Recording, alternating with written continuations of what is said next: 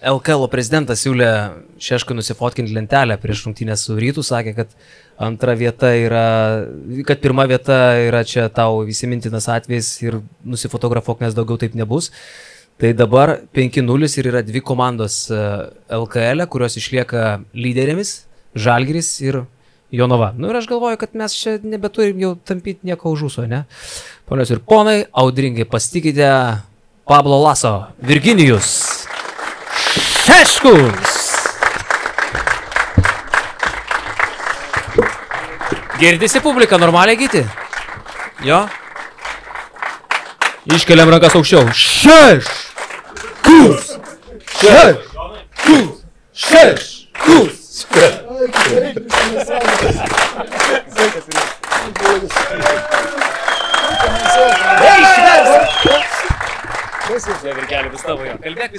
Žiūrėkit, mes iš karto jums dovanų, nieko nelaukia, žinom, kad jūs su dovanom amžinai. Čia kosmosas koks. su karoliu būtumėt vienodai. Ačiū. Žydra. Mano spalva, ačiū. Čia nežydra. Nu, tai. Šiaip tikrai, dabar man dar neįtikėčiau, kaip tokie rezultatai tikrai. Žinai, nuo ko, ne?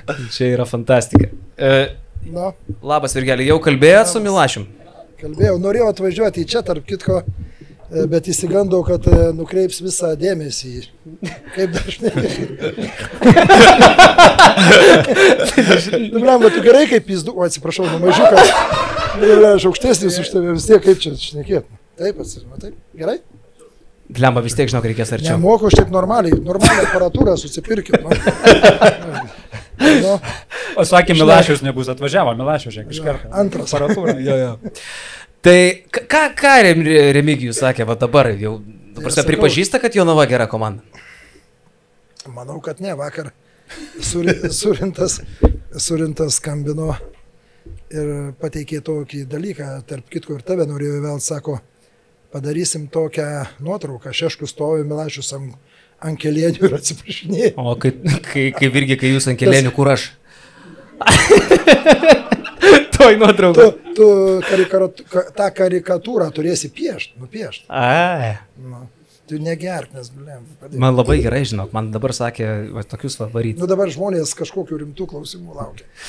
Tai va tos klausimus e, galite ir čia rašyti, irgi, A. va, pavyzdžiui, pirmas klausimas. Ai, irgi žuvytės atvežė. žuvytės atvežė? Blemba, Neatvežiau. Nespėja. Šį kartą mes nespėjom su Kaziuku važiavom į Delfį.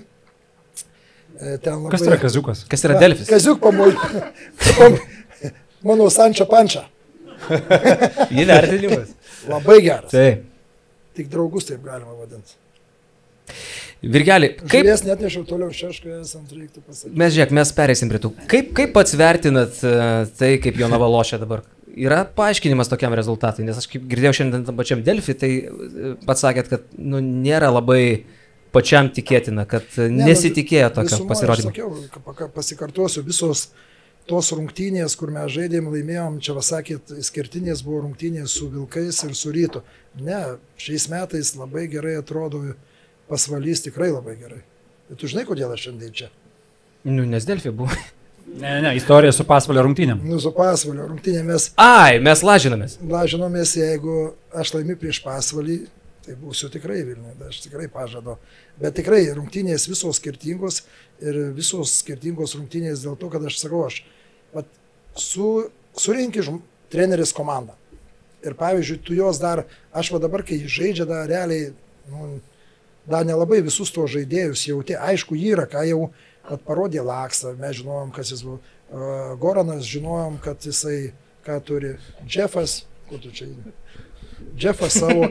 Tai bet mes turim, sakau, turim 5-6 žaidėjus ir ką jie čia, aš galvoju, kad čia tikrai nuopelnas trenerių, tai yra tas, kad juos kažkaip sukurt, kažką padaryti, tuos derinius, bet, nu, aš tai galvoju vis tiek, kad žaidėjai yra patys ir save, aš sakiau visą laiką, jeigu žaidėjai daugumoje daro trenerių. Tu padarai ten savo darbą, visi panašiai, bet visumoje žaidėjai daro trenerių. Jie rezultatai yra susirinkę, žiūrėkit, prieš kiek laiko buvo Ednis čia, Eisonas buvo, žaidė Žalgerį. Tai du žmonės galėjo aplošti visą komandą. Praeitais metais turėjom Palacijo ir e, Lekonte. Tai yra du žmonės, kurie laikė visą komandą visą sezoną. Aišku, negražiai tai iš ant tų pliopų su Lekonte, bet nu, vis tiek aš jo negalėjau labai pykti, nes visą sezoną jis tempiai pavėdė, bet sakau, ir tie žmonės, tu jiem duodi laisvę, jie laisvę, laisvę duodi ir jie realiai ketvirtą vietą, šeškus vaikštų, ko daugiau. Ar ant kažko Virgis pyksta? Sako, nu, va, realiai. Ai, ne, nemoku. Lekontė nus, nu- nustojo žaisti pliofus. Jis, tiesiog- jis, jis norėjo išvažiuoti, jis norėjo baigti sezoną. Treneris sako, ne, tai aš nepykstu. Bet aš girdėjau, ar, ar yra kad- kažkas ant kažko supyktumėte? ir Aš girdėjau, kad Virgis nori vėl jį susigražinti pas save komandą. ne? Jo, jeigu turai šiandien išnekėjau. Tai aš ką žinau, nu, aišku, labai buvo tokia, norėjom išeiti į tą ketvirtuką, viską, bet nežinau. Kažkaip, nu, nemoku aš pykti, reiškia. Karoli, žiūrėk, kiek tu apie mane nesąmonių. Nu, prišneki. pavyzdžiui. Pavyzdžiui, pasakykit, kokią nesąmonę, kas nors atsimena. Karolis, va, o vienas žmogus iš karto. yra. Bet aš ant tave nepykstu, Bet tu kalbi turbūt apie paskutinį podcastą. Aš Ne, girdėjau, kad ne. pas jūs sukėlė ten furorą, ne? Tipo, kad, mes, kad aš pradėjau kalbėti apie tai, kad Virgis neva e, štai įsivaizduojam jį kaip žmogų, kuris prie čierkos, kuris kompanijoje, kuris bla bla bla, bet tik tai ne treneriai. Ir staiga tokie Bet rezultatai. žiūrėkit, bet kodėl visą laiką, žiūrėkit, visi, žiūrėk, visi treneriai padaro čerką, ne? Visi padaro. Nu kas nepadaro? Bet gal net ne tiek. Ne tie. Palauk, čia yra nuo vietos, nuo noro, bet žinai, ir tie. Ne, bet esmė yra ta, kad jūs nei su vienu treneriu apie tai nešnekat. Nu, pasakykit, su kokiu jūs treneriu, kur nors tai žuvį atneša, tai vėl kažką, nu, žiūrėkit, nu. Realiai, jūs priima tą bairį, aš priimu, jūs juo to naudojatės, ar ne? Žinai, kalbant rimtai, aš galvoju, Nu. kad čia Jonas labai gerą mintį pasakė prieš laidą, mes vakar sėdėjom ofisiukė Kaune ir Miklovas sako, didžiausia Virgio problema trenerių rinkoje yra tai, kad jo įvaizdis yra toksai, kad prie jo visada gali prieiti, jisai toksai atrodo paprastas, jisai šneka paprastai, ūkiškai, kaimiškai, Taip. šerniena, mediena, bairiukai, šnapsiukai, samogoniukas. Ir supranti, pavyzdžiui, paimk Donaldą Kairį, ne? Treneris išlaikytas, sėdi visą kitką, kad ten e, rimta povyza, rimta veido išraiška. Ir tokie treneriai vis tiek šitam feikiniam pasaulyje jie daugiau laimi ilgoje Taip, distancijoje. faktas, faktas. Nebent nėra rezultatų. Ne, Bet jeigu žiūrėk, nors kažkoks yra, tu greičiausiai tokiam, nu, treneriui sus, sustotų, tu praloši. Nu, bet aš, žiūrėkit, man jau ne vieną kartą ir sūnus ir Edinas sako, tu, žinai, čia, va, taip, prie konferencijos, nu, nemoko aš. 55 metų pradėsi keisti, žmonai tą patį sako. Nu, ar gali pradėti 55 metų žmogus, žmogus keistis? Nu, iš vis, nu, kaip tu, aš ateinu su taim, labas, tu, skys, išprotėjau iš kažkas, ne? Nu, taip. Per nuoširdus treneris yra. Ne, nu, tai esmė, kad tikrai tie dalykai, ką aš žinau, aš toks esu, aš manau, va, žmonės yra, aš visą laiką su visais bendrauju, galiu susėsti, alaus išgerti, nu, kas čia bremba, kad tu čia pasirodysi, koks tu esi. Ne. Bet vėlgi mes esame įpratę, kad Eurolygai treneriai žiūri, renkasi žaidėjus pagal tai, kaip jie atrodo aikšteliai. Jūs žiūrit labiau kaip aikštelė ar kaip charakteris geras būtų. Ne, nu tai aikštelė, kaip atrodo, tu neprisimsi tų charakterių, tai prisimčiau tų charakterių, tai ir vaikštau ten su charakteriais gerais, bet, bet esmė charakteris yra labai svarbus dalykas. Mes šiais metais labai kovojom dėl Jeffo, kuris praeitais metais aš, kaip sakant, buvau atvažiavęs, tai tikrai geras vyras ir aš ir tie, vat, problema yra ta, ir dabar mes to pastiprinimo ieškom, bet visą laiką mes jau stengiamės neapsigauti. Jau vieną paėmėm, atvažiavom, bet žmogus išvažiavo, lyg tai geras bičias, bet kaip paskui nedavėjom, reiškia, kas buvo prieš tris metus, davėjom kas prieš du, vien, prieš tris metus jis į treniruotės net varydavo, sakė, ten vėl kažką, žinai, tai vat, reikia kuo giliau, žinai, tą viską. Tai mes va dabar imam tokį žaidėją, kuris realiai imam, kad būtų ir žaidėjas, bet, nu, žmogus irgi, kad net važiuotų vienas žmogus, kur visą komandą gali sugadinti. O tai būna. Tikrai būna daug pavyzdžių, kad vienas, vienas žmogus, nu, jis nepatenkintas treniruotėse, Du broliai buvo. na, bolai. Nu, tai jie tai ten iš vis, nu, bet tai Žiūrėk, mes šiandien ne, ne tik tai e, keturiese čia sėdėsim karts nuo karto iš ekrano prabils e, irgi jums pažįstami žmonės. Duodam kokį pirmą, va, pavyzdžiui, į ekraną į šitą temą. Vienas iš e, tokių, man atrodo, pačiam mylimiausių dzedų - Gediminas Urelikas. Sveiki visi, linkėjimai iš Turkijos. Na ką, žinau, svečiuose turit puikų žmogų, nuostabią asmenybę, gerą trenerį, tai linkėjimai jam.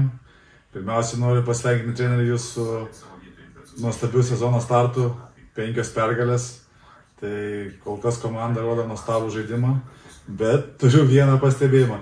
Treneri, nesinervuokit tiek daug, nes vėl širdis pradės streikuoti. Tai čia toks mano pastebėjimas.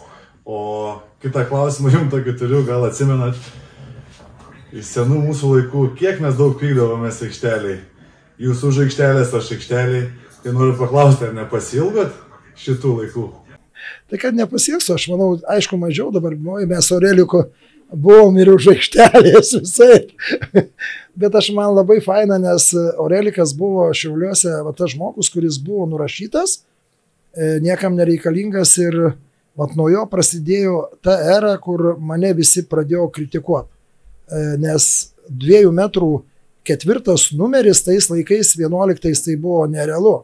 Kaip gali ketvirtas numeris su dviem metrais ten viską ir mane čia visi drožė, šeškus, čia tik tritaškininkai, žiūrėkit dabar, nu, realiai ne visa, bet 80 procentų Europoje komandos nori turėti ketvirtus numerius, apie kad ir 2 metrai, bet su gerų metimų. Šiandien šnekėjau su Lietkabelio prezidentu irgi. Šakyčius paimtas didelis, jis man sako, sako, blemba, jeigu būtų pasirinkimas, aš pasilikčiau Aureliką. Tai aš manau, ne, ne ūgis, o smūgis reiškia. Bet e, Gedas kalba apie ten visokius bairius, kurių buvo ten tokie laukiniai laikai, 2009. Ne, nu, tik tai klausyk, dieną ateina į LKL. nu, bet kaip Aš ne- tai norėjau, žinai, kad irgi paklausti jūsų, o nes aš atsimenu šiek tiek, bet tai per miglą, nes mano irgi buvo pradžia. mažiukas buvai. Jo, jo, jo, nu, sakykime. Bet e, aš, aš atsimenu per miglą, kad man atrodo šiek tiek buvot e, ugningesnis. Kažkiek per metus nurimot, ne? Ne, nu, klausykit, tai normalu kažkiek. Nu, koks, tai pažiūrėk su rytu. Du treneriai čia blemba sulaikė. Šiandien prezidentas paleido man tą įrašą, tai kokią minutę nesustodamas. Bet sakiau, tik neleiskit į eferį šito. Tai vis tiek ta ugnis yra, bet aišku, tai metai vis tiek kažkaip pradedi, aš prieš rungtynės, nu, nu, neišeina man ten normaliai visą laiką tas rungtynės. Aš su visais susiginčinės, kad šešių e, techninių negausiu iki naujų metų, vis pralaušiu viską, blemba, nežinau. Ir žinau, ką, Bet jo Reliko klausimą neatsakėt. Kažką pradėjote? Ne, nu ta prasme, buvo? dėl ko? Ne, nu mes suprantat, jūs įsivaizduokit, va, tikrai taip, tie laikai, skau, aš visiems pasakau tokį dalyką, čia negražiai nuskambės, bet tu esi treneris, prasideda tų pinigų trūksta, viskas, aš nuvažiuoju į Mariampolę pas draugą. Įsivaizduokit, atvažiuoju, stovi čia 0,5, 0,7 litras. Sako, renkis, 5 aštukos 70, tai aišku, 10. Ir įsivaizduoju, nu tai va čia juokas toksai, bet tas gyvenimas toksai, spranti, man vardant to prienų krepšinio, žinai, čia gali visi, žinai, pasilasdavo, ten tas, anas, nu bet nebuvo pasirinkimo. Arba tu, e, kaip atsirado guoga, kaip atsirado žiemelis, kaip atsirado visi tie žmonės prie, prie prienų, va taip ir atsirado. Panašiai, nes kažkur, kažkur pamatė, kad žmogus iš širdies, kad nori, paduodavo man grinus pinigus, nu aš nei vieno euro nepasėmė savo. Visą tam, žinai, klubui, viską aš nešneku apie savo atlyginimą. Aš, aš manau, per du metus dabar, tikrai nesumeluosiu, manau, per du metus jau navoju daugiau gausiu kaip per dešimt metų dirbdamas liet, plienos. Nes, nu, esmė, jūs nepagalvokit, kad aš jau navoju daug gaunu. Aš paprasčiausiai prienuose negaunau. Kaip Pablo Laso. Na, tai panašiai, panašiai tie dalykai būdavo. Išeini rytą, sako, tai kam tu į rytą išeisi, sako, pinigų te uždirbsi, tai palieki tuos pinigus. Nu, realiai mylėjai tą krepšinį, nu, iki durnumo. Bet jau dabar praėjo tiek laiko, man atrodo, į rytą, tu jau galima ir kalbėti, Senatisoje, tu į rytą už 10 štukų litų, aš vis pasakau, atsiprašau, kad tu pasakau, mes labai seniai pažįstami, tai mes tarpusavį tik tai taip šnekam, e, paskui pyksta žmonės, bet šiaip e, už 10 štukų litų, tai vis tiek dabar jokingai skamba, tuo metu į tokį klubą išėjai. labai paprastas dalykas. Aš atvažiuoju su Vainausku trečią kartą, aš neku, nusako, va 10 štukų, už tai buvo 14-15 euras, eurą išeidinėjom tada. Nu, treneriui 10, blem, aš nepatogu, iš kaimo vaikis, žinau, 10, tai 10. Nedrįstu išklaus, paskui Gogu sakau nuvažiavęs, tai kas tas 10 jau? Tu sako, tai aišku, eurų, aš dar pinigų Vainauskui duosiu viską, o 10 eurų, bet vis tiek paskutinį sutikimą, kai pasirašinyti, jau reikėjo kontraktą, sakau, klausykit, sakau, ponas Vainauskas, o tai kaip čia tie eurai litai? Tu įmonė, tai aišku, litai.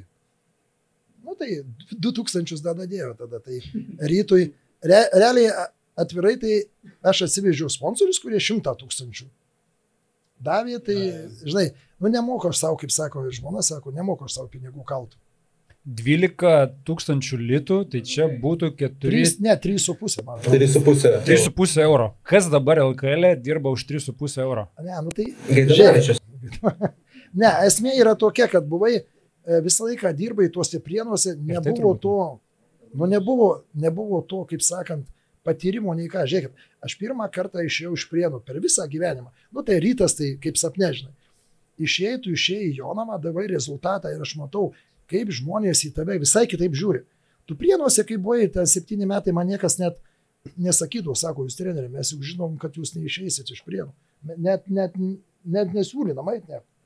Nu, aš sakau, jūs teisingi, blemba prienai man viskas. O kažkaip pabandė ir aš manau, į tą rytą buvo toksai spontaniškas išėjimas, toks nežinojimas, kai mėtukas išvažiavo iš to kaimo, ką daryti. Ką daryti, aha, Gronskį pasilieku, tą pasilieku. Tai kiti metai baisus buvo. Aš atėjau, su antru treneriu buvo Jelovecas, Daudėlas buvo. Tie žmonės turėjo kontraktus. Ir Edvinas man sako, tėtė, pasiri, pasilik tą Jelovecą. O Žronskis sako, eik, tu virgi čia taip, taip. Aš tos du žmonės atleidau vietųjų pasiėmiau. Leslie ir Mauserį, atsimeni. Mhm. Ir Beroną. Ir, nu, tai Beronas po, po antro. Bet esmė yra tokia, kad Ir Natešką.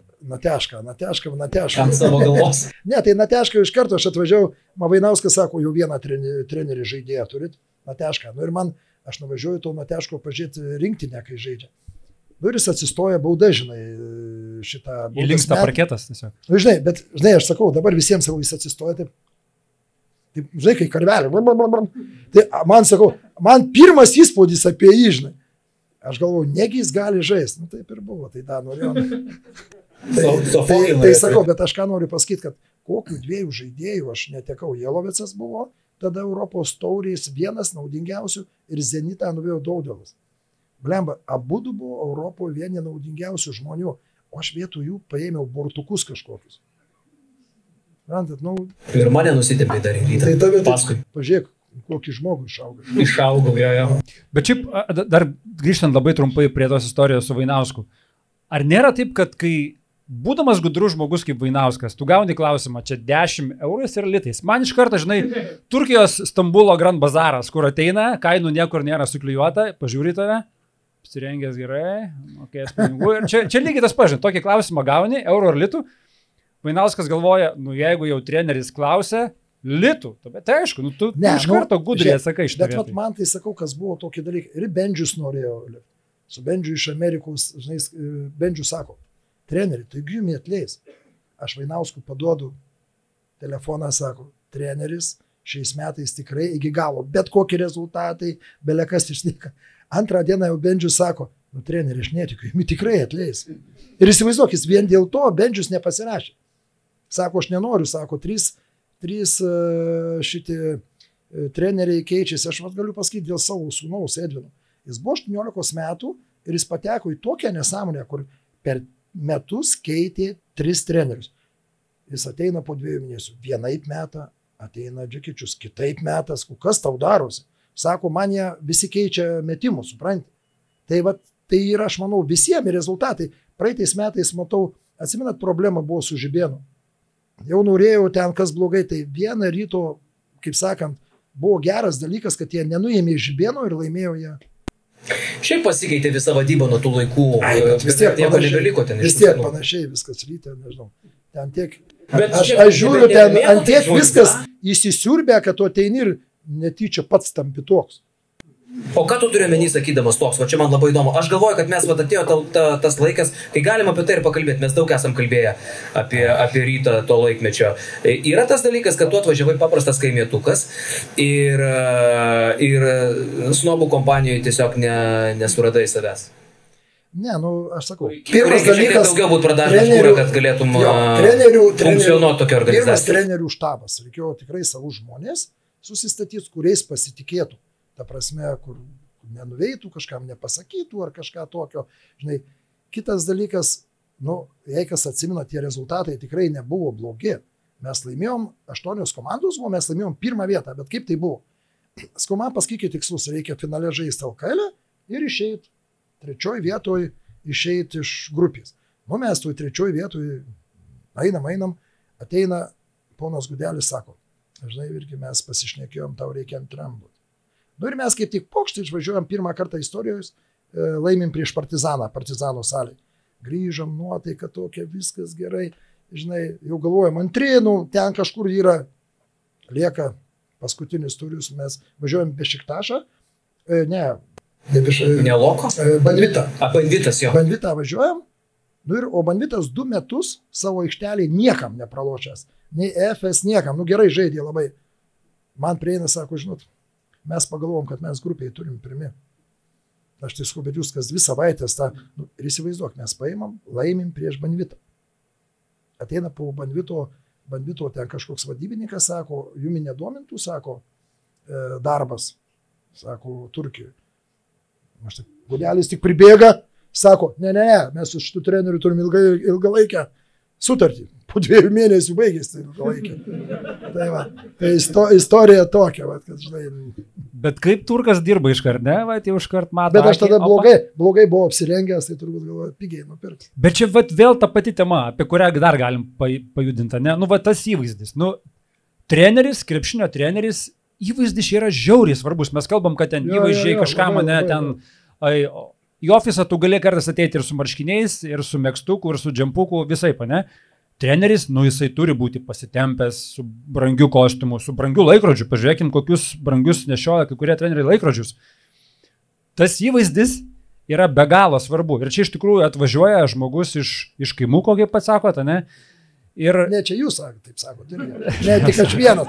Čia ir jūs taip sakote, ne aš vienas taip sakau. Ir turbūt negali pasikeisti nei treneris, nei klubas, nes nu taip yra įprasta. Klube įprasta turėti trenerį, kuris yra su brangiu kostiumu.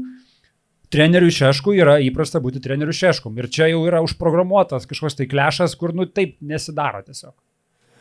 Klausyk, e, mes pradėjom kalbėti, norėjai lėkščiai paklausti kažką? Dar aš prie ryto, jeigu temos liekant, tai realiai treneriui matant, žinant, kaip nutiks, kaip viskas baigsis, tai jūsų bendradarbiavimo su rytu, būtumėt vis tiek išvažiavę į Vilnių ir ar būtumėt likę geriau prienuose ir visą taip karjerą ir būtumėt likę prienų Jonavos treneris. Ne, dėl ryto tai, a, nežinau, 50 ant 50 kažkiek ir pergyvenu ir buvo, suprantate, pirmas, pirmas išvažiavimas. Pirma, ir žinai, taip, va, toks, aš blemba mėnesį, tai iš vis jau buvau žiauriai blogai jaučiausi, nes aš sakau, aš galvoju, kad, nu, nebuvo, žinot, aš pasakysiu dabar vieną paslaptį irgi. Mes kai, ne, mes kai pradėjom rinkti žaidėjus, man Vainauskas buvo pasakęs, nes aš norėjau Ado, kažko dar ir buvo agentas jų bulotų. Jis man buvo pasakęs, kad per šimtą metrų to žmogaus netgi neturi šalia būti. Aš su savo sugebėjimas eiliniais tai padariau, kad jie susėtų, susėstų prie vieno stalo ir realiai susidraugautų, nes atvežė Baironą, man nežinant aišku, bet nu, paskui matot, kaip išėjo, bet pradžioj tai tikrai buvo sunku, nes jisai, jisai iš vis nesigaudė europiniam tam. Bet ant, ant galo, Veronas paskui sakė, kad po darbo su Šeškum baigti karjerą norėjo. nu, bet tai, tai, klausyk, klausyk, tai ir buvo tas yra dalykas. Man- Buvo toksai tarsi ar Bet, žiūrėk, Jis taip bet yra, yra tas dalykas. Tagu jis vakada šnekėsi, paklaus, kur tu būtum, jeigu Šeškus tave būtų nepakvietęs į Europą. Niekas jų Europoje neėmė. Paskutinę sekundę bulotas jį paėmė į varį. Supranti? Ir tas yra dalykas, kad jisai atėjo į gy- gynėjų, nu jis į žaidėjų ir dabar jis nemoka, realiai jis gali, bet jis tada iš vis buvo atvažiavęs, nu jis į žaidėjų, žinai, tikrai nebuvo. Ir aš, man žai, žaista į žaidėjų, nu man buvo sunku.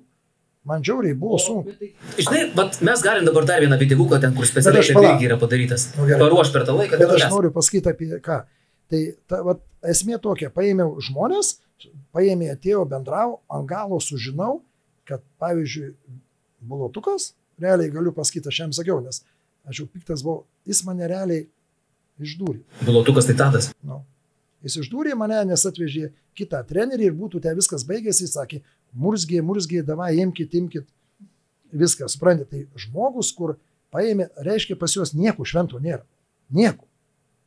Tai yra esminis dalykas, žinai, tai čia baisu, tai aš sakau, aš vieną kartą, žinau, atėjom, aš jį pirmą kartą pamačiau, ėjau iš Panevežio, arenos, tai po rungtynio įstovi, žinai. Ir nusikirpęs, taip, žinai, plikai. Šiandien praeidamas, tau laimė, kad nusikirpai, sakau. Nežinau, ką aš turėjau omeny, ar aš jį nori- būčiau nukirpęs. Visgi virkis būna piktas, vad bandė aiškinti. Bet aš taip draugiškai pasakiau, žinai, praeidamas, žinai.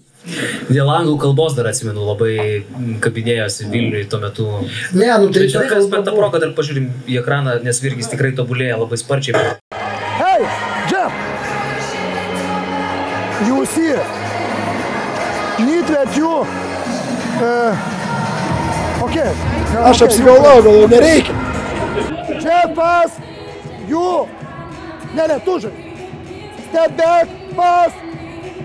Bet visumoje klausyk, aš šitais metais patobulėjęs tikrai. Hei, Juan, hei, kalė. Juan! Hei, du. Nu tai good situation. Hei, kaip? Bet žiūrėkit, aš galiu pasakyti vieną dalyką. Kaip įdomu. Jie mane priima visi tokį, ko, koks aš esu. Nes aš atėjęs visą laiką jiem pasakau, vyrai, pas mane anglų kalba nėra tobula ir jūs jeigu ką, sakau, jūs klauskit viską, bet šiais metais tai iš vis jie žiauri. Mūsų, tai man, žinai, kaip sakant, nu vis tiek tai metai dabar, aš stengiuosi visą laiką per treniruotės angliškai išnekėti, galiu nusišnekėti, bet treneris pataiso, tai aš jau taisausi viskas gerai. Aš manau, treniruotė. good situation. Žinai, kas man labiausiai patinka? E, aš turiu tą pačią e, savybę. Man- Bet žiūrėkit, aš pažiūrėkit, dabar jie sako- Gerai, dabar pasakysiu. Aš Neduosiu, nemoku, neduosiu. aš nemoku angliškai. Žiūrėkit, jie dabar sakė, koks tu mano draugas, viską. Ir vėl jie mane knisa, suprantate?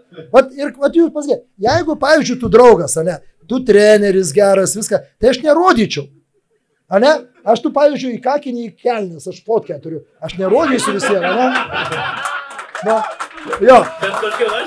Jo, aš gali būti, kad tu, bet tu dabar sakai, oi, žinai, oi, čia taip. Ir vėl tu nori parodyti, kad aš, tu parodyk, kad aš gerai angliškai. Tai žiūrėk, apie ką aš ir kalbu. Bet tu išlaudai kažkodėl. Rimtai? Tu irgi. Nežinau. Man labai Apie tą- apie tą video. kalbėti, nes vienas dalykas yra nemokėti angliškai kalbėti, o kitas dalykas yra bijot kalbėti. Ir čia yra pats stipriausias dalykas. Bet reikia pripažinti, kad šiais metais ir praeitą sezoną, nes čia irgi jau kalbėjau, aš, pavyzdžiui, atsimenu ryte, apie ką mes šnekėjom, Ne, visai nekalbėjai. Nu, tuos tokius bendrinius. Tai panašu, kad su metai, su metai, žodis po žodžio, tampi ir ant po kritikos reikia duoti ir žmogus pradeda normaliai Tu išnekėti. nenorėjai išgirsti, nes tokia mintis ir buvo. Aš nenoriu, žinau, nereikia tos minties man, aš žinau, kaip ten šnekėjau. Tu tas momentus visus už, užvaręs. Ne, pas mane ir dabar būna, jeigu aš susinervuoju, tai žaidėjim pasakęs keli žodžius, kad blogai. Tai jeigu aš jau susinervuoju, vieną žodį išgirsta, sakė, supratau. Aš kai pamačiau šitą video, aš sakiau, Karoli, bet šitą video dedam į patį galą, jau kai, Nu, jau kai irgi bus taip. pasakoja labai daug gerų dalykų, išlaižė užpakalį, kiek tai gali. Bet šitas video. Mes tai dabar pradėk. per Ne, ne, anksti bet sunervinom žmogų. išlaižė jau. Neklausyk, tai aš geriau jausiuosi, kai išvažiuodamas išlaižysit. Gerai? Bet treneri, jūs su Lavaru daug bendraudavot. Ką jūs kalbėdavot? Pieną apie pieną. Ne, nu kas, nu kas tokiu žmogum. Tarp kitko, aš, klausykit, aš net, net jeigu atvirai gerai, kad aš taip nemokėjau anglų kalbos. Nes, nu, aš sakau, nu, geras žmogus, mylinti šeimą, žiauri. Šeima jam, nu, aš patys didžiausi, žmona ten buvo po infarkto, po insulto, vaikusis, visų, viską, žinai, darė, nu, bet, ka, blemba, kaip žmogus gali keistis tik pisti išeina į aikštelę, nu, šimta procentų kitas, kitas žmogus iš vis. Taigi jie sakau, jie man nusivežė jie 50 tūkstančių man eurų, dolerių siūlė. 50 tūkstančių, nu, kad jie kartu iki galo sezono žaistų abu. Sakau, nu, blemba, nu kaip aš galiu. Bet, vad sakau, ant kiek aš durnas. Grįžtų žmonai paskui, sako, tikrai durnas. nu, bet, nu, klausyk, Karol, nu, paimsi tuos 50, kažkada išeis, ne? Čia kaip kitose dalykuose, žinai, nu, pinigai, bet, nu, nežinau. Aš tai, žinai, kai sakau, jau jeigu buvo iki 55 durnas, tai varyk iki galo. Bet kiek tada džiaugiamės, ne visi kaip buvo atvažiavo, kokia buvo sumaištis, atsimenu, Jo, Vilniaus. tai jūs turbūt visi ir džiaugiatės, įskyrus mane. Virgelį, bet ir pastenkai vavai mikrofoną pasakoja, kaip čia Nu tai blemba, šaibos eina, sutarėm. Tai į klubą, žinai, blogo, blogą situaciją, aišku, bet paskui suprantat, nu kaip buvo, nu žiauru, absoliučiai visi, aš apakęs, kokie 90 procentų žmonių sulindų jiem išiknatą. Blemba, žiūriu, ateina irgi viskas gerai, o kai žiūri, žinai, video, matai atsisėdę prie to lavaro, ten glostosi. Taigi visi pradėjo su juo biznių daryti. Importuoti, nežinau, ko nenorėjau importuoti, blemba, visi važiuoja, visi prašo, važiuoja tos tre- Čia prienų treniruotės. verslininkai. Ką? Prienų verslininkai. Ne, visi baigtų čia. Ir pas Gedą buvau nuvežęs, nu ten. Karočią, visi Mesgi turėjom daryti Lavarui JBL lygai tinklapį, nes kažkoks lietuviukas irgi ten pripudrino, prigydė, kad čia bus labai gerai. Karolis, ne? Toks. A, Jo, jo, ir žodžiu, ir derina viską, ten dar kažkoks žmogus trečias, čia viską gerai darom, darom, darom. Ir paskui dingo viskas. Jie čia jau kažkur kitur rado, kažkur kitur pasigamino ir niekas neįspėjo. Tai va tokių ten besitrinančių aplinkui, Vaje, tai galvoju, žiauriai. daug. Aš čia vieną prieš du metus, ten prie jo toks mažiukas, nežinau, kas ten darydavo, pamačiau Vilnių, tai gerai, kad spėjau pabėgti. Rimtai, mes ėjom, pamačiau tais, kai į tą nišą, nes aš jiems, nu ant tiek žmonės, supranti, ateina, tau pasako, irgi, davai darom taip, aš, blemba, baim, nu, patikė žmogų, žiūri, ten kažką visai kitaip daro. Nu. Aišku, tik tai ačiū jiems, žinai, kad jie nu, vis tiek prienam atnešė kokie virš 200 tūkstančių su tuo e, savo, ta, žinai, kur mes rodydavom į Los Andželą rytais, ta, žinai, lyga susidarė, kad draugiškas tokia žaidėm, tai irgi, žinai, negalėt žmonių, žinai, varydžiauriai, bet labai sunku. Bet po to, sakė, išsivežė mašiną. Nu, va čia blogiausia buvo, kad jis man apsikabino mane ir sako, tu mano brolis sako, sako, šitas mašinas, mašinas tau palieku, viską, po vieno mačo, jis varo, varo, tai aš tam sko pervės, ką aš, pusbrolius, sako, "Ei, žinai, mažieji, žinai, tai- tai įsivežė, tą. me mums reikėjo, aišku, netiduoti, bet ten, sakau, visi. Būtų kur, šiaip būtų buvę labai jokinga, jeigu prie, prie durų stumdote su tą mašiną, ne? Bartuškas išieškomi į vieną pusę bolas, į kitą ir dročiamės prie durų. O tai ką reikėjo paslėpti ir viskas, kur jie rastų. O ten buvo dvi mašinas, ne? Ir abi išsivežė. Pats valas. Aš manau, kad jie Lietuvoje kažkam, tai įtariu, kam nenori išnekėti, bet įtariu, kam pradėjo. Kur stovi? Kur stovi. Šiaip reikia ieškoti kito verslos bičio, pas Niecko galėjo atsidurti. Ne, jis neišdrįstų. Aš žinau, kad aš sužinosiu, jeigu pasi. Uh, pajungiam dar paskutinį video, kur padarysim per traukėlę, Tai gerai? bent geresnis. Sakai? Aišku, O gal, o gal pailsim? Barūkom? Jo. Aišku, gal Paskutinis tik išstojimas, jau užsiminėm apie Gedimino 9, a, vieni iš mūsų partnerių. Tai šią savaitę irgi kviečiam žiūrėti krepšinį į Gedimino 9. Rytoj ne, bet ketvirtadienį su Barsa kviečiam. Rytoj ten jie turi kitą renginį. Tai ketvirtadienį su Barsa pliusam ir ne tik pliusam. Ir dar turim partnerį NordVPN, a, kurį vis reklamuojam ir minim ir su juo draugaujam ne, vienus, ne vieną mėnesį, ne vieną podcastą. Tam bičiui, kuris čia prieš tai su mumis žaidė, manau, jam iš karto padovanojame akantą vieną. Ką? Už tai, kad jisai tave aplašė. O tavęs ne. Ir mane aplašė. Ir tik lekščinis leidė. Tai paleisk žmonės. Tiesiog taip, ne? Tiesiog taip. Ir dar vienam padovanosim, bet uh, po pertraukėlės.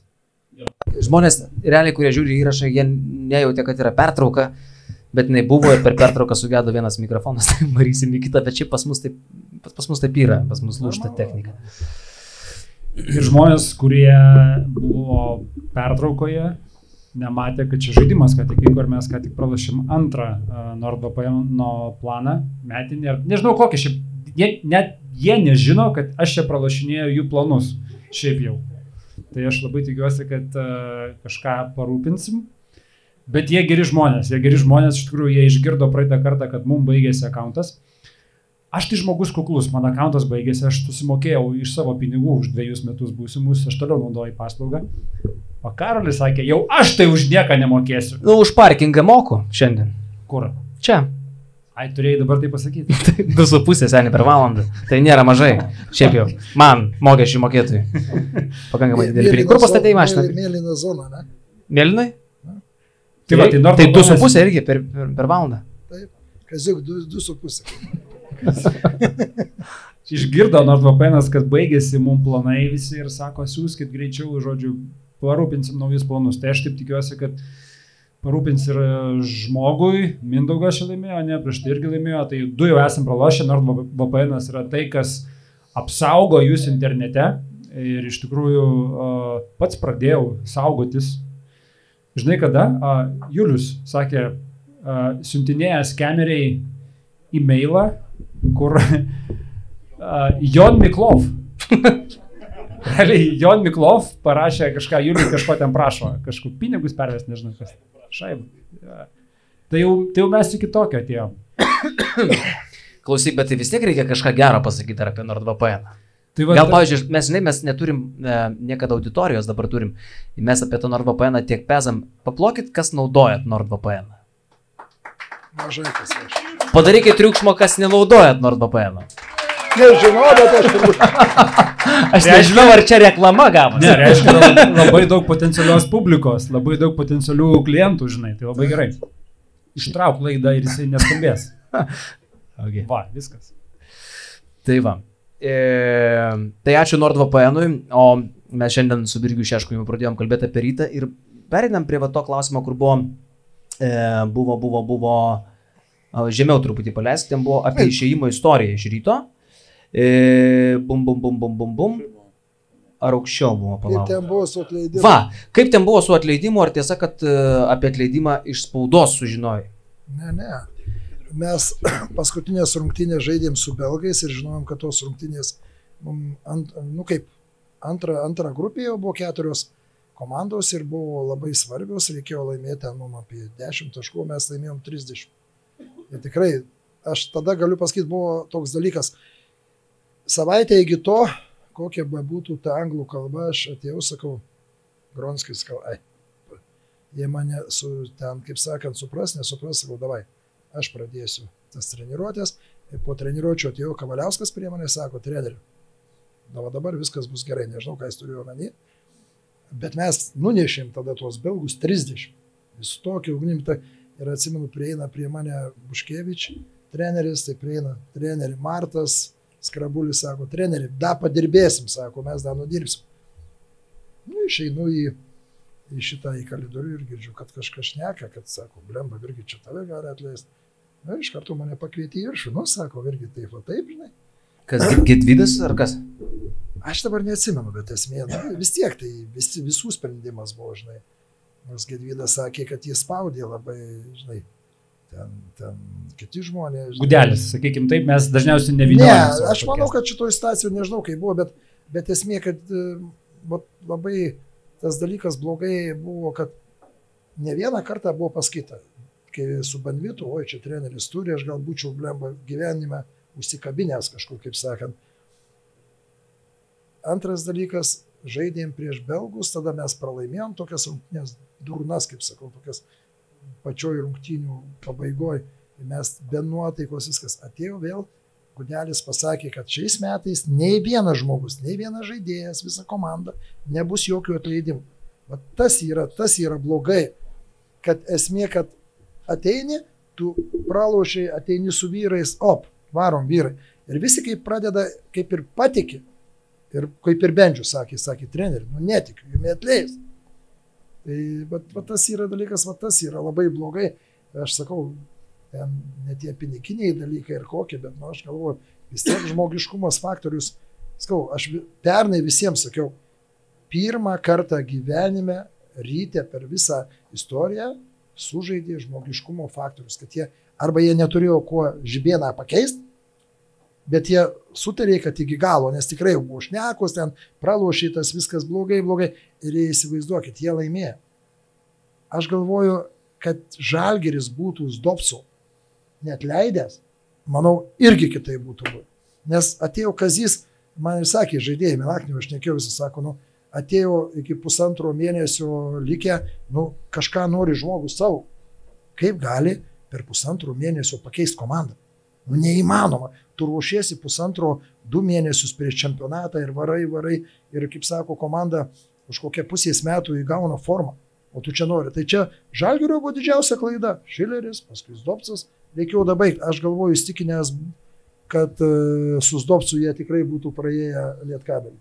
Bet jūs treneri ne vieną sezoną buvo sutartis su rytų pasirašę. Dvie, du, du metus, bet O man tai įdomiausia, kaip būna tokiuose situacijose su kompensacijom su, su manim situacija buvo tokia. Sako, treneri, taip aš atėjau ir pasirašiau, kad nutraukiu. Jie, Ir- jie net, nu- realiai aš jums pasakysiu, jie net nustebo, kad aš jokios kompensacijos noriu, nieko, žinai, jie tik tai Gedvydas sako, nu, treneri, gerbiu jūs, sako, aš jums kažkada dar paduosiu 10 tūkstančių.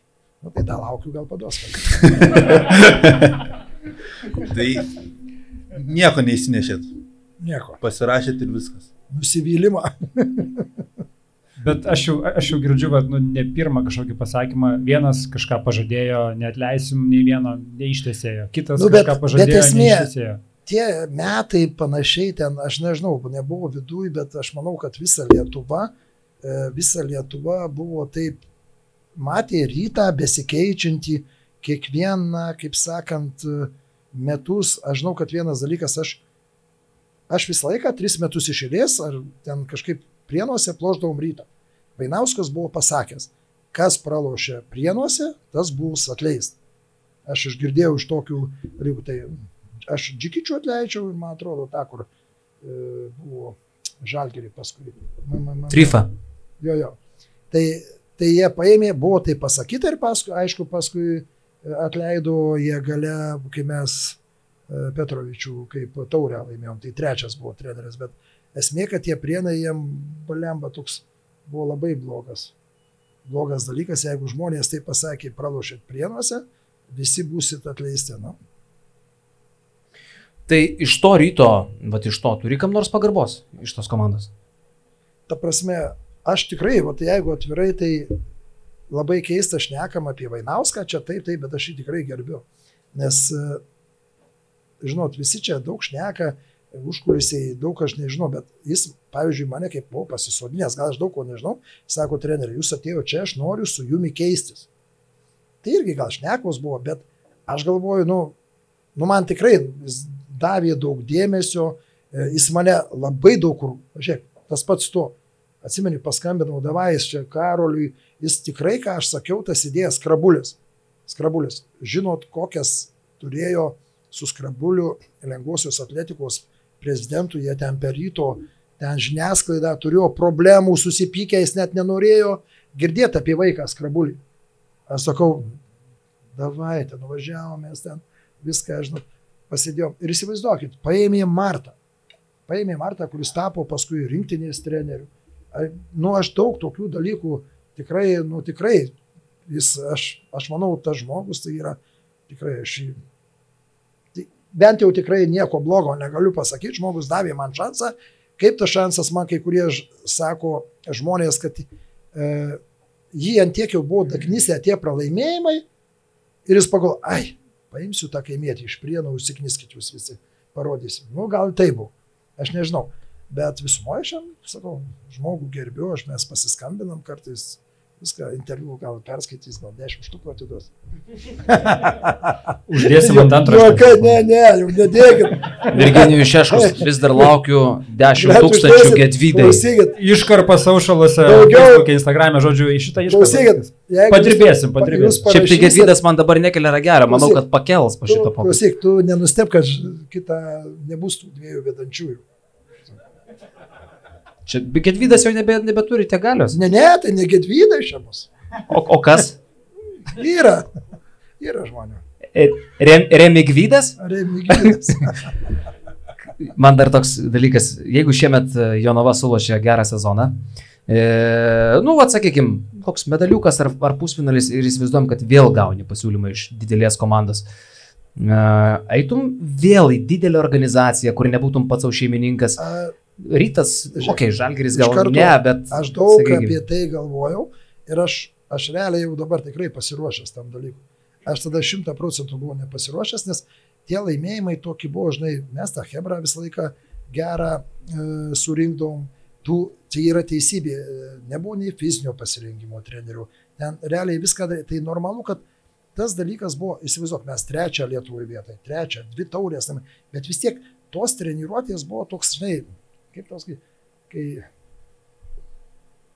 patyrusių žaidėjus turi, rytais realiai tu juos gali net vienus palikti. Kad Džiulis buvo po šiai dienai, sakau visiems, pavyzdys buvo kapitonas, aš išvažiuodavau ten ar pinigų ateinu, jis viską padaręs, vakarė mes savo padarom tos visus dalykus, nu, super. Ir aš dar kartą, žiūrėkit, aš jums dar kartą sakau, žaidėjai geri vis tiek gali padaryti trenerių. Tai yra tikrai normalu, nes jeigu tas patyrimas toks yra, nu, kaip sakant, nu, netgi žaidėjai, kai aš buvau LKL pirmus metus, netgi tie patyrę žaidėjai, aš manau, daug daugiau galėjo man patarti negu Lukauskis, kad Džiulis, kurie buvę man. Ir aš tikrai priimdavau tuos dalykus ne taip, kad ten, žinai, ten normaliai. Nu, jeigu atvirai niekada neturėjau pirmo trenerio, man mokėsi, žiūrėjai, buvo tikrai sunku. Pirmi metai, o antri metai atėjo visi tie jaunimas, atsimenu, niekada nepri, nepamiršiu tų metų. Orelikas, Juškevičius, Lipkevičius, Buterlevičius, Butkevičius, e, šitas Orelikas kaip mes varėmės dėl trečios vietos sutėną, atsimenu, 30 taškų suvarėm. Ir jeigu, manau, neteisėjai mes ir prie žalgirį turėjom pus, pusvinalį taurį laimėti. Tokia faina hebra, tai esmė, kad jie visi buvo jauni. Aš pasakydavau gal ir nesąmonę, bet jie viską darydavo. Suprantate, ant kiek tikėjimas yra, jeigu visi penki žmonės tą patį daro, tu gali net su taktika, žinai, ne, nepataikyti, bet esmė, kad visi penki, kad ir kažką blogai, bet Jie visi penki daro. Tu gali sistemą kažkokią, netokią, bet energija, jaunimas, aš sakau, neužmiršiu niekada tos komandos. Ir dabar su Juškevičiu, su Aureliku, aš nekam, sako treneri, mes da, sako, norim pas jumi grįžti, bet jie nori 35 grįžti visi pas mane. tai nežinau. Aišku, keli veteranai visą laiką, kaip sakant, gerai, bet... Nu. Bet treneri, kalbant apie tą didelį klubą, būdavo tų kalbų, pasakydavo, kad yra pasiūlymų iš užsienio, taip ir nevirsdavo, tai rezultatų įsivaizduoti save užsienį dirbant? Ne, nu, pagrindėtų buvo, žiūrėkit, ant, ant treti metai tai buvo Lenkai, atsimenu, ir kažkaip, ne, dviejų Lenkijų, dvi Lenkijos komandos. Tai tada, kai mes du kartus buvom treti LKL. E. O po to ten paskui, ką žinau, tai rytas, viskas, bet prieš, va, kai, ta, kai aš nuvėjau jų teną, tai buvo ten, žinau, ką reiškia didį. Nebuvo iš tokių kažkokių bet buvo, pavyzdžiui, šitą iš Ukrainos ten pasiūlymas važiuoti žaisti, bet nu, treniruoti. Nu, tai... Šiaip e, šį vakarą du kartus iš trenerio nuskambėjo ta pati mintis, kad geri žaidėjai padaro treneriai, čia galima suprasti visai šitą frazę. Manau, kad manau, kiek Virgis kartų kartoja šitą frazę, tiek visi bent šiek tiek apie tai pagalvoja. Jo, bet aš manau, tą frazę supranti ir tada turbūt lygiai taip pat supranti, kad geri treneriai dalį sezono laimi vasarą kaip tu vasarą gerai padirbė atrinkdama žaidėjus, tu jau tada laimi savo sezoną. Arba pralaimi, kaip matėm Žalgirio pavyzdžių praeitais metais, tai matom gerų trenerių pavyzdžių, arba nebūtinai trenerių administracijos uh, džiemo dar kažko, bet tu labai daug laimi vasarą, dar net nesužaidus ne vienų rungtynių. Ne, bet žiūrėkit, aš pasakiau tik vieną tą pusę. Geri treneriai ir daro ir žaidėjus. Nesupraskite, kad visi visą laiką žaidėjai trenerius daro. Visi daro kažką. Nėra kitaip kaip pasakyti šito. Žaidėjai, trenerių, trenerių žaidėjus. Normalus žaidimas. Ne, nu bet aš sakau, kad nu, aš turėjau tuos žmonės patyrusius, aš žinau, kad tikrai kiek patarimų, kiek, kiek e, rungtinių metų, kiek e, susitarimų tarpusavio. Žiauriai, patyrė žaidėjai. Aš neku apie mūsų lygį. Aš neku mūsų, kaip prienai buvo ten, šiauliai, va tokį, tokiam lygiai, žinai, ten jau paskui aukščiau, žinai, kiti, kita atmosfera, bet va šneku šitam lygiai, kad tikrai tie žmonės yra daug kas patyrę, tikrai. Aš noriu dar vieną patyrusį vyrą į ekraną, tu užsiminė apie teisėjimą. Uh, bum, bum, bum. Ir... Bum, bum, bum. Va. O, Tomukas, draugas. Tomukas turi klausimą. Sveiki, Virginijau. Visų pirma, noriu Jūs pasveikinti su labai puikia sezono pradžia lentelę, LKL lentelę nufotografavau net aš, e, ne, ne per seniausiai. Kadangi iki reguliaraus sezono pabaigos liko dar nemažai rungtynių, tai turiu jūs tokį klausimą. Kaip jūs manote, kuo jūs daugiau gausite? Techninių ar pergalių komanda turės? Ačiū. Aš manau pergalių. Kol kas tik dvi techninės. Taip, tik penki, du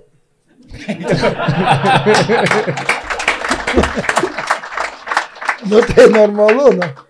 Nėra Šeškus mylimiausias teisėjų žmogus. Net ir šiandien pasakė, va ten prie žalgerį pragrainom, ten teisėjų klaidos, visą kitką. Koks santykis šiaip yra tavo su teisėjais? aš gerai su jais sutinku.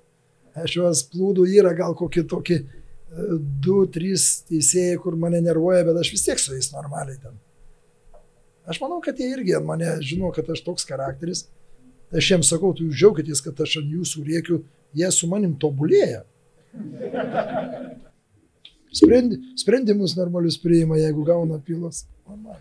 Aš tai nepamiršiu praėjusiu metu LKL ketvirtfinalio seriją su Šiauliais ir po kažkurio mačo namuose Virgis atbėga į spaudos konferenciją, sako, rašyk, nuknisto teisėjai grajų iš mūsų. Čia kada? Po kažkurio su Šiauliais, po pirmo ar trečio namuose. Ai, namuose. Jo. Buvo labai, jeigu atvirai, tai, žinot, nu, ne dėl to aš pamačiau, kad atvažiavo visi trys Eurolygos teisėjai. Kai pamačiau trys Eurolygos teisėjai, iš karto priejau prie savo Pauliuko skau. Kai namie žaidži ir švilpia trys Eurolygos teisėjai, nėra gerai. Todėl, kad tu jokio spaudimo niekam negali duoti. Realiai jie tokį pasikausę, taip ir buvo. Tai ten gali kiek jo, bet visumoje mes mes tikrai ten buvom ir nusiuntę, ir tų visokių klaidų, bet nu ką čia prisimenu dabar. jau.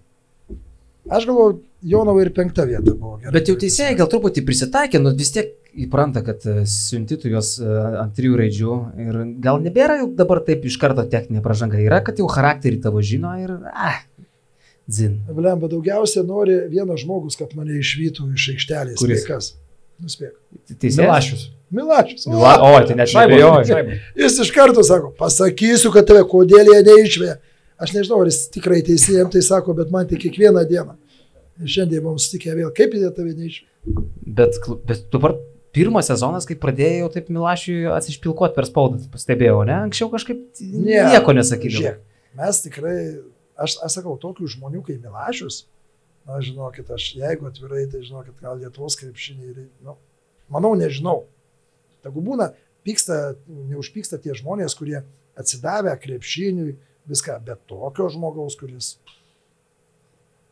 tikrai, nu, žiauriai žmogus atsidavęs krepšiniui, man gaila, kad jis neėjo į federacijos rinkimus, būtų net nebejoju žiauriai geras LKF prezidentas, tikrai su savo noru, jis nežinau, ką padarytų, kad ta, kad ta rinktinė būtų geriau pasiruošus. Nežinau, nu, gal čia man taip atrodo, bet uh, tikrai nėra tokių žmonių. Labai geras klausimas. Treneriai, ar norit pasakyti, kad geri treneriai daro ir teisėjus geresnius? Taip, Visi visus daro šį vakarą. Labai daro, taip. Kitas klausimas. Pradėjau teisėjų kursus šį sezoną. Gal turite patarimų, kaip reiktų reaguoti teisėjui, kai atrodo, lik jūs tuoj bėgsit į aikštę ir užvažiuosit gerai? Ne, nu taip atrodo. Žinot, visi, visi taip atrodo, kaip sakant, aršus, bet iki to, nu, nu tikrai nedaveitum. Tu gal daugiau net vaidini, kad taip nori padaryti. Duodi suprast, kad tave įsigastų, o jis turi neįsigasti. Nu, patarimas teisėjai. Dabar daug jaunų teisėjų yra. Jaučiasi, kad dar a, šviežias kraujas paduotas į LKL, nes kokie 2-3 nu, naujokai, yra- ne? Ne, nu tai, ne, nu jaučiasi, aš manau, kad tie ir teisėjai, žinai, pamokyti ten per, per seminarą, tai pirmas klausimas būna iš karto. Nu, dėl šeškaus, visiems aišku. Ir svarbiausia vėl, kas tą klausimą spėk užduoda. Ir, čia, ir mes taip ge- gerai sutinkam, sakau, tai kam tu travini tuos teisėjus prie manęs? Ne, ne, sakė, ne, sakė, normaliai viskas. Tai- Jam kažkoks yra malonumas, žinok, tave padrošti. Jis, pavyzdžiui, man paskambina, sako, e, girdi, dar, vat, pasakysi, kad čia Šeškaus komanda, ar čia Šeškus ta, Šeškus ana, televizorių. nuimu nuo transliacijų. Konkrečiai, ta prasme. Sakė, šį sezoną Jonava tai ne Šeškus, apie Šeškų ko mažiau. Ką ten apie tą Belickaitę, sako, ten loji, pamatai Belickaitę, iš karto tau užkėpė Belickaitę, žinai, ten. Apie to Šeškų sako, ne žodžio. Žodžiu, kažkas tarp jūsų tokia ir meilė, ir, ir, ir seksas, ir neapykanta. Viskas Ne, viename. Ta, ta prasme, jam taip atrodo, kad taip turi būti. Sako, mes draugai, taip po krepšinį mes nedraugai. Bet aš galvoju, žinok, čia pas jį yra tas toksai malonumas pažaisti tą žaidimą, žinai, jisai Manau, bet jis aš tik su... špilkų Bet man keista, bet kodėl tik su manim tą žaidimą žaidžia? Net ne, Nes patikėk kiti man, nežaidžia atgal tiesiog. Nu, gali būti. Bet šiaip čia yra fenomenalu, aš irgi paklausiau dabar, kaip treneris a, atvirai papasakoja savo pokalbį, kaip LKL prezidentas ten kažką pasako ir jeigu tai būtų kažkoks tai super rimtas pasaulis su super rimtom lygom, tai tarsi būtų, nu, taip nesidaro, ne? Kaip... Pavyzdžiui, Ne, Šternas. jis man ane? sakė, Pas- šiandien sakė, Šternas arba Amžinatelis Bertomeo, ne, irgi, nu, lygiai. Amžinatelis jis- per... Žiūrėk, jis man šiandien sakė, sako, žinai, sako, aš tau Dar vienas aš daugiau tau tarptautinis skandalas, bet mes pripratę. Na, ja, gal taip. Ne, nu Lietuva, aš manau, per maža šalis, vis tiek mes, kaip sakant, visi daug, visi vienus pažįstam ir ten niekur nepasidės. Gali, ką tu nori vaidinti ar ką, žinai, bet... Fain, aš sakau, LKL man tie, kai atėjo Milašius, nu tai fantastika. Kiekvienais metais nori eiti. Aišku, šiais metais kažkaip, žinot, mes vis laukiam, kad tas LKL stiprės vien dėl to, kad ateis e, vilkai, Taip visi išnekėjo, lemba labai atsiprašau, jeigu padarėm blogai, tai jaunava tuos vilkus nuleido. Bet atsimenat prieš, kai mes žaidėm, tarp kitko, kai jūs ten buvot prieš konferencijų. Po ko? Po, Kai? po kėdainių. Ir kas mane paklausė, o kaip su vilkais? Grinevičius, ne? Tu nebuvai tada? Čia kai šnapsas, šnapsą kai Taip, geriam? taip, kaip iš nepsa gėrė. Tai va, tai Grinevičius sako, treneri, o kaip su vilkais? Spaudos konferencijai Samagonas įtras. O aš sakau, Sdėt. Aš sakau, kad vilkų labai daug prisiveisė Lietuvos miškuose. Reikia Jos- šaudyt. Jos reikia šaudyti. Tai vi- vieną pergalę nušojam, tai gal mes blogai padarėm, kad šitą lygį biškį, bet, nu, tipo pamenkinom, žinai, bet aš manau, atsigaus tie vilkai, dar nupirks kokį vieną žaidėją. Ta lyga tikrai, gal dabar, kaip sako, atrodo, tas žaidimo, tas lygis, nu, nėra toks aukštas, bet visumoje rungtynės žiauriai faino, šiandien žiūrėkit, prienai po pratesimo. Ten mes žaidžiam. Laimėjo prienai? Pralaš, Pralaš. Po pratesimo. Klausimas buvo, ar Liūdžiu, dar liūdžiu. liūdna. Liūdna. Liūdna. liūdna, liūdna. Tai gal duodam klausimą iš prienų žmogui. Čia ketvirtą vidėvuką paleisim gerai. Uh, man atrodo, kad praleisim vieną, prašoksim, paskui bus trečias. Čia bus labai gerai pažįstamas vienas Mariuk, žmogus. Mariukas? Uh, ne visai. Edvinas, o ką iš čia? Labą dieną, nu ką, užkūrė diskusiją gerą, ne, ten jau čia jau prisižvengia, viską istorijų pripasakoja, bet aš prie tokio rimtesnio klausimo, kada Virginijus Šeškus pradės gyventi dėl savęs. Aišku, jeigu čia nutrūktų klausimas, sakysiu, ne, viskas gerai, čia viskas sus, susitvarkysiu reikalus, va, pradėsiu gyventi dėl savęs, pasižiūrėti. Ne, aš, aš būnu dažnai, dažnai šalia, matau, kai- kaip viskas vyksta, tikrai tu, tu skiri kitiem 9 procentų, savo 10, tai vad mano didžiausias klausimas ir šitas klausimas rūpi labiausiai vis tiek šeimai. Man, trikšoteriui damkiai ir mamai, kada labiau pradėsi gyventi dėl savęs. Nes tikrai tu stengiasi dėl kitų nerealiai, nuo mažų reikalų iki krepšinio komandoje algų, iki, nežinau, ten didelių reikalų, kur reikia tikrai daug laiko ir darbo. Tai aš tik noriu ir paklausti ir palinkėti, kad greičiau tėtuk pradėk gyventi dėl savęs. Rūpinkis labiau savimi. O oh, ja!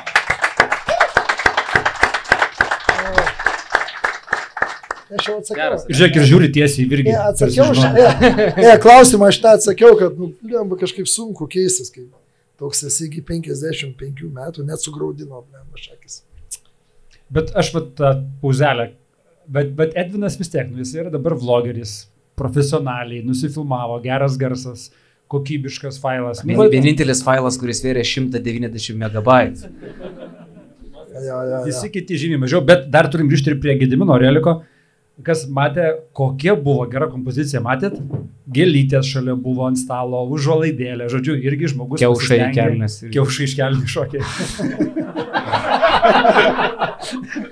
Geri kiaušai, ne?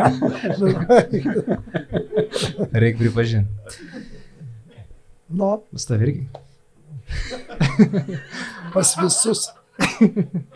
Atsakant sūnui, ne? nes e, iš tikrųjų tai geras klausimas ir aš ne pirmą kartą girdžiu. Ir apie sveikatos problemas netgi buvo čia užsiminęs. Nu, jo, lemba, kažkaip sakau, pripratęs, va, kad būna kartais tikrai, galvoji, žinai, nugyveni tą gyvenimą, žinai, kaip, pavyzdžiui, prienai buvo, ne? Tai tikrai buvo, žinai, ten, aš jau kaip pats išėjau, viską atėjau ir atvarkėsi, viską, žinai, kai žmogus atiduodė 30 Blemba, jeigu atvirai nuo 16 metų pradėjau žaisti ten viskas, tai 35 metai kažkur taip, žinai, su armija išėjau, viską atidodė ir, kai žinai, taip atseit visiems, žinai, tu svarbus prienų žmogus, ne? O jau tik, kad jie daro kažką ir tu, nu, ta prasme, toks vaizdas, žinai, kad, nu, šeškus jau antiek visus užgožęs. Ir užgožęs prienuose ir merą, ir viską šeškus, šeškus. Toks vaizdas, kad, blemba, nu, gal tas šeškus, to nereikia. Aš tą žiauriai jaučiau. tą žiauriai jaučiau ir, žinai, ir kažkaip buvo abina tikrai, nes aš daug ką da, norėčiau netgi kažkada, žinai, pasakyti, ar tam merui ir savo žmonėm, nu reikia savo krašto žmonės mylėti. Ar ten būtų sportas, ar krepšinis, ar kultūra. Jeigu žmogus atidavęs tiek metų, kaip be būtų 30 ar kažką, aš manau, savo rajono žmonės reikia mylėti. Čia yra svarbiausias, nes yra mažas miestelis, o ką jeigu ne savus.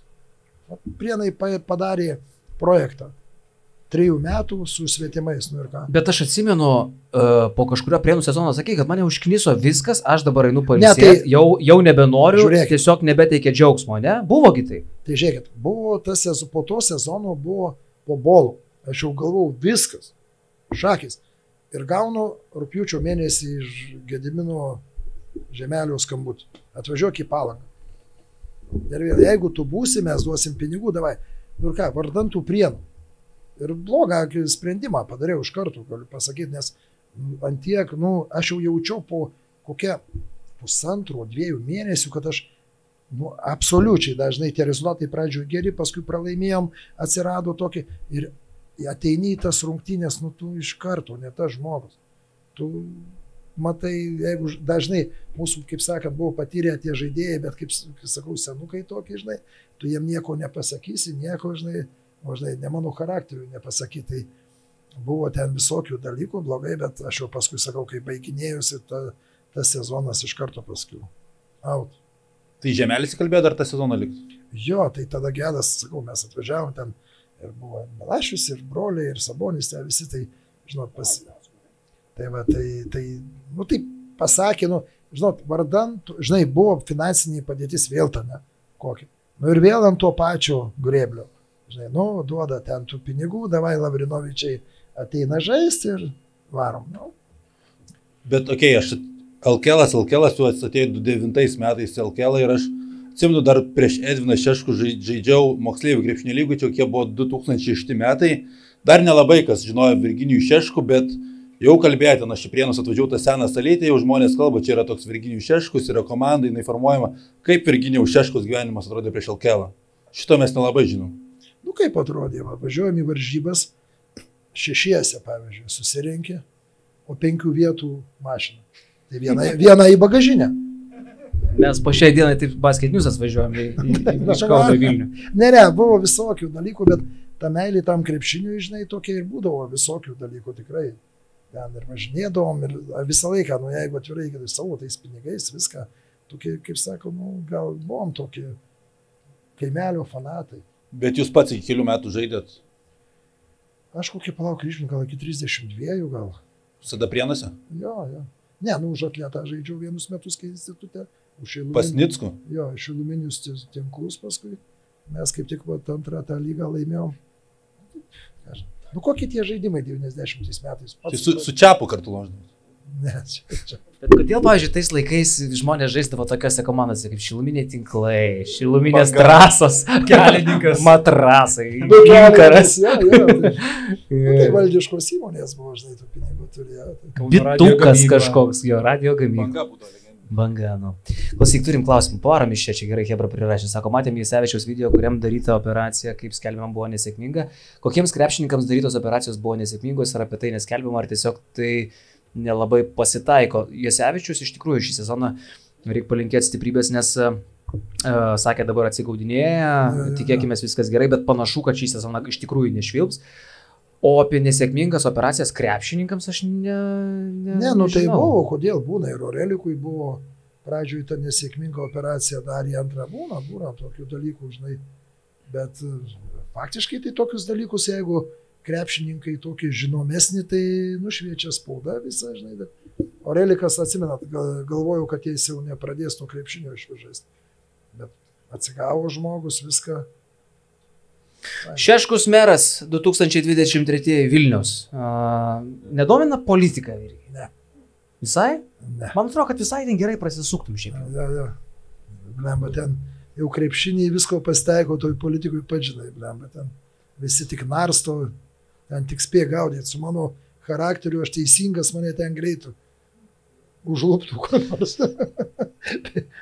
Žiūrėk, labai geras žaidimas yra. Fuck, Mary Kill. Mes jo nežaidėm jau daug metų. Nu, aš neatsimenu, mes prieš 3 metus paskutinį kartą žaidėm. E, bet e, man atrodo, kad Virginijus Šeškus niekada nėra dalyvavęs Fuck, Mary Kill ir jame sudalyvaus dabar. Žaidimas, žodžiu, toksai, tu iš trijų žmonių išsirenki vieną, su kuriuo ženytumėsi, kitą, e, su kuriuo Kurį kru- kruštumėsi. Darytum, darytum. Ne, Darytum prasme- ir trečią, su kurį nužudytum. Bet ta prasme, kaip aš galiu žmoną turiu, blemba, kaip aš. Nu įsivaizduokim, kad neturi. Ne, aš. Arba kad niekas Čia nesužinos. nesiskaito, čia visi vyrai tai nesiskaito. Jo, jo, jo. Ir vyrai yra tokie. Lavaras Ai, Bolas, Gedvydas Ai, Vainauskas su, ir aš. Ai, ta prasme, iš tų jūsų. Jo. Lavaras, Gedvydas ir aš. Fuck, Mary Kill. Su kuriuo ženijasi? Su Su, kuriuo? Su, su manim? Ja. Kodėl? Šiaip sakau, kad tu žavus. Tu, tu iš jų jauniausias. Ačiū. O ką, kas toliau? Uh, Kruštumėsi su kuo ir nužudytum ką? Oi, blemba, čia pats blogiausia. Gal davai tave į kitur. Spėjai, spėjai nenužudyti mane. yeah? Davai. Visgi jauniausias, nu Ne, geriausias, Ai, paskubėjau. Bet tai nebūtų pirmas kartas, nesvarbu. Tai žiūrėkit, darom taip. Uh, uh, fuck, Mary Kill vis dėlto įsirenkam, kurį nužudai, su kuriuo ženės ir su kuriuo turi lytinius santykius. Ne, ne, aš, aš tik su tai noriu apsižadyti ir kruštis ir gyventi. Gerai, tai Kiek, kiek dar trenerių atsakytų? jausmai abipusiai. Davai. Da, Gerai. Ką dar turi? gaila, kad apsižadinai. Ne, man ir iš tikrųjų. Po šito pasiūlymo. Uh, taip. Kaip manot, Žemelė susijęs su Arabų šeikais ir Eurolyga? Uh, manau, kad manau, ne. kad ne. Manau, kad ne. E, taip, treneriai, kokiu būdu 2014 LKL finale parašėt Žalgirį ir Rytą, nu, tai mes iš dalies jau atsakėme tokio tipo klausimą, kad tai buvo komandinė dvasia nerealiai, ne? Patyrė žaidėjai. aš, aš, jeigu atvirai neįsivaizduoju, tai tais laikais mane visą laiką mūsų prezidentas pasako, nu ką tu ten laimėjai, kokią tu taurę, nu kokia ten, ten taurė buvo. O dabar tai KMT. Bet aš jam sakau, klausyk, ar kada KMT buvo nors kartą, kad dvi Eurolygos komandos. Tais laikais nurytas, kai tais laikais buvo, tai tikrai stipresnis buvo už šitą rytą. Buvo Kukas, Palacijos, Songailas, Eibutis, Orelikas, nu tikrai ge- gera, gera Hebra, Eurolygų. Ji, ji buvo realiai stipresnė už, už Žalgirį. O Žalgiris, ką aš žinau, taip, emocijom jie žaidė, žaidė su kaip pelė su katytė galvoju, bet kada ir laimėjom, tas pats su rytu. Jie ten be problemų, žinai, laiminėjo, laiminėjo, žinai, ir pralaimėjo. Ne, tai čia, nu, nežinau, kažkas nerealaus. Nežinau. Tam žalgirį 2.14 žaidė Jasikevičius. Esate dar kalbėję kada nors apie tai su juo? Ar ne? Kažkaip tai. Bet santykių turit gerą. pasakyti, Žalgris iš vis po to pralaimėjimo, amžinatelis Jaurimas Bartuška, taip žinai, jie laimėjo trečią vietą. E, Laimėjo prieš Neptūną ir žmogus nepagalvojęs pribėga prie motinų. Pauliau, su trečia vieta, tas nei rankos nepadarė. Tu įsivaizduoji, nu, jiem kai žaidimas, jie žmonės sugalvoja. O mes ką mes po pirmų rungtynių laimėjom, blemba, 40 tūkstančių gyvenime, prienam tokį pinigai į finalą aš jau. Einam, išeinam ryte kokie 11, išbėga Gronskis, sako trenerė, e, o galima jūsų video laiko mes kokie 15 užimsim, imkite viską, mes nedarysim. Nu, Mes taip ir atėjom į tas rungtynės realiai, nieko nesiruošę. Suėjom, vyrai, žaidžiam. Tai va, jums pavyzdys. Tų treniruočių, ruošimuose viskas. Vyrai atėjo ir mes tą žaidžiam, man atrodo, Bejanavičiaus tada ten straumelė buvo ar ka- kažką. Na, fantastika. Tai apskritai, kokia yra Virginijaus Šeškaus žaidimo filosofija, nes aš vis paklausiu žaidėjų, tai jie man nelabai gali paaiškinti. Nu, ta prasme, filosofija. Kokie yra akcentai? Filosofija yra laimėti. Nesvarbu kaip. Ne- nesvarbu kaip. Tai tu dabar pridaryk filosofijų, sakau, visi sako, aš visiems sakau. Ar jūs čia diskutavot, žaidžia žalgeris gerai ar kažką, žinai. Ar geriau blogiau žaisti ir laimėti, ar geriau žaisti ir pralaimėti? Vat aš visų klausiu. Vat žaidžia komanda, žaidžia, dabar įsivaizduoju, sako žalis. Tikrai geriau žaidžia ir mes nekėjom su kaziuku, viskas atrodo pas juos. Bet įsivaizduokit, neduok dievę. Paima, pralošia aštuonios rungtynės. Nu jam tikrai taip netleis kaip Jasikevičių, Hebrit. Mes apie tai išnekėjom, Jasikevičius buvo fenomenas ant šito dalyko. Publika jį, atrodo, čia va tie žmonės dabar kaziuką pa- palaiko, viskas. Klausyk. Čia yra tikrai, čia yra labai, aš sakau, kartais negražiai žais, blogai žais, bet tu laimi. Ir visi pradeda šnekėti, kaip tu gerai žaidži, kaip mes su rytu gerai žaidžiame. Ta pati atsiminkim Joną Kazlauską ir jo rinktinės, koks tai būdavo vargas, skausmas, bet, Taip, nu tai- bet daliai būdavo. Ir viskas, ir lai- laimim tuos, tuos, kaip sakant, tu gali pradėti blogai ir kaip laimi ir viskas. Ir visi automatiškai užmiršta, kas buvo blogai. Automatiškai. Na nu, tai, žinai, tai dabar kaip 5-5 Jonava. Lemba Šeškus geriausias Lietuvos treneris. Jokas. Pažiūrėsim, ką aš reikėsiu. Tai sakau, aš kaip prie tų dalykų pripratęs, tai man, žinai, pasako, aš tai priimu, faina žmonės, žinai, žinai, kaip sako, reikia imti tada, kaip yra kažkas, nu, pasimko, paskui kai bus, tai bus, žinai. Žinai, yra vienas dalykas, ko neprilyksta Jonava Prienam. Aišku, komanda Aš jau gera. žinau, ką pasakysiu. Vipas. Nu, jau supratau. Prienų Vipas irgi turėjo tokią pačią širdį kaip Prienų klubas. Jonavoje šito, šitas yra šaltesnis reikalas, gerokai. Netgi jis neturi nieko netarti. Nu, tu, bandėm Bartuška ir. Vytautė tais laikais Prienuose darydavo neįtikėtinus dalykus. Ten buvo visi. Ten buvo premjeras. Ten buvo Tris Kinijos kartus. ambasadorius. Ten buvo visa absoliučiai Lietuvos ir Europos krepšinio grėtinė, ne- net ne grėtinėlė. Politikai, visi ir visi ten jautėsi labai gerai, ten buvo traukos centras. Aš galvoju, kad netgi dalis prienų pergalių galėtų būti siejama su ta atmosfera, nes ten rėmėjų procentų. beliekiek pasirašyta. Va ten buvo kaifas. Bet va tas miestelis mes kažkaip pagavom tą ir visi, jūs sutikit, kad visi ir žurnalistai ir visi tą dalyką aš nekėjau. Kad, uh, nu, kad prienai tuo, žinai, įsiskiria iš visų komandų. Ir visi lasdavodavo tą bačkutį į samagono, bet tai ta bačkutė kaip simbolis būdavo. Ten tu nori, nenori, žinai, ten O išgerti. kas, jie- kas vyrė tą samagoną? Blemba, nežinau. Tai žinai, amžinatelis jaurimas e, buvo mūsų girininkas. Tai pažinai, jau miškė dirbdamas, Ko tik nėra ne- ten, o jis man amžinaisi visko ir česnak, česnako prirodęs viską. Kas čia snakas yra? Blemba, Grybų toks- ten. Ne, ne, toks. Blemba, kaip gaila žmogaus, jeigu turėjo prisimenu dabar, blemba, toks buvo. Ai, sakau, žmogus va paima, žinai, kaip sakant, nėra ir visi užmiršta, o kiek atidavęs, nu, sakau, gaila labai. Nu, Kūgelis ką nukepdavo, Kūgelį, Aurimas. jo. Nu, viskas būdavo labai faina.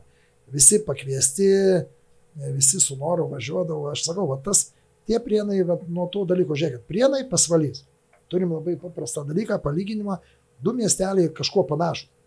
Bet absoliučiai kitkas. Atmosfera, prieimimas, visas, visi tie dalykai. Aš manau, mumi vežė tas dalykas ir Bet šitas, aš manau, tuose pergaliuose persidavo, tie žmonės labai palaikydavo, nu, aš nežinau, šeštas žaidėjas būdavo ne tik žiūrovai, tas vipas, viskas. Blemba, čia mes su kuo žaidėm, tai Aurimas šit neiškrito iš to balkono, ten, ne, ant teisėjų kažką aš atsisukusiu kretą. Net iš balkono teisėją nori paimti. Aš atsimenu, kaip jūs Aurimų griuvot po pergalės 2.14 ant žemės panevežį dviesi ir valiojatės kaip, kaip rutuliukas, jau bendras vienas, toks vientisas. Bet kaip jis kalė, tas vajezo, mačiu dantų neiš.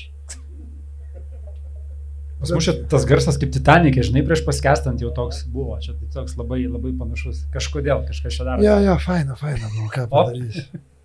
Nu, davai, dar duodam klausimų iš čia, ne? Ar gal dar video paskutinį, ne? Galim. Tie klausimai iš, Galim. iškrapštyti. Galim pabaigai videobuką, dar aišku. Tik vieną- davai dar vieną negraudinant į kokį. Ne, ne, dabar bus video. geriau. Ne. Šitas negali sugraudinti. Ne, šitas Gerai. blogas bus, ne? O,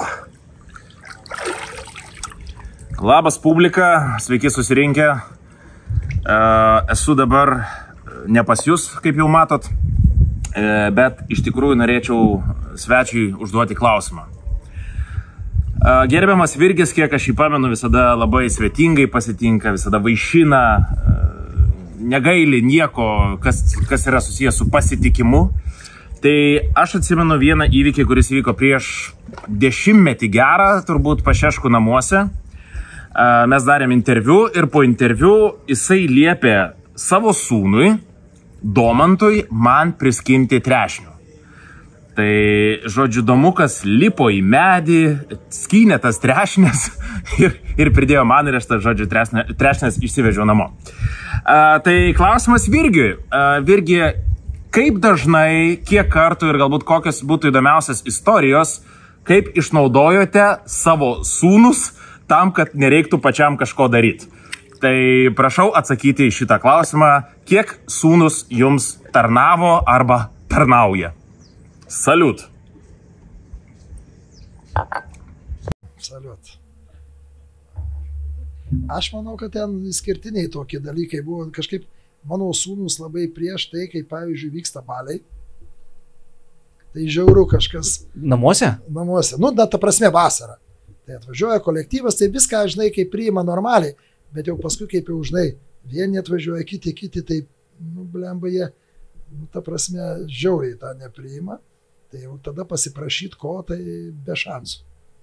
Tai, manau, jam labai tada pasisekė, kad tas trešnės jam nuskinė, nes visumoje nepriverščiau nieko, baliavodamas ar kažką su draugais. Nu, draugiškai gal kažką, bet, nu, žiauriai jie tokie. Pikti ant to, kai alkoholį naudoju, tai aš atrodo kaip liaudės priešas ten.